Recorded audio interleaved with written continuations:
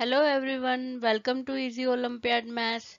These are some questions from 6th SOF IMO Olympiad Class 3 paper. Take the quiz and post your answers in the comment sections. New users subscribe the channel and hit the bell icon to get notifications for new uploads. The first question is the product of the smallest one digit number with the sum of greatest and second greatest number in the given box is options are A 0, B 1, C 2, D 17. Take your time and answer the question. Anjali's present age is 9 years. Her brother was born when she was five years old. What is her brother's age now?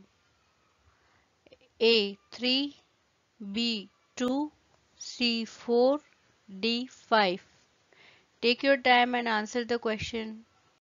A pizza was cut into 8 equal pieces.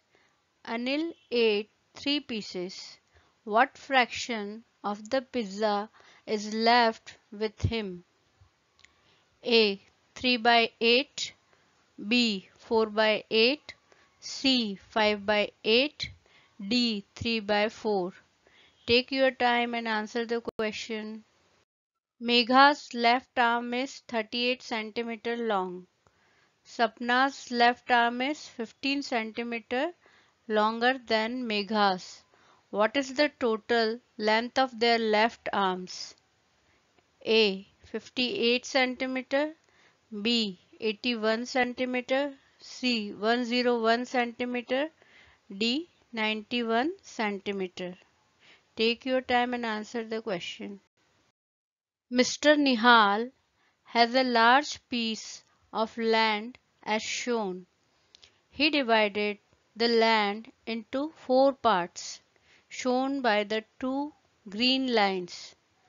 Which of the marked products is the largest? A. R B P S D Q 1 square equals to 1 unit.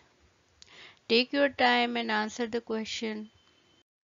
The number of possible combinations formed by 3 boys and 3 girls is A12, B3, C9, D6.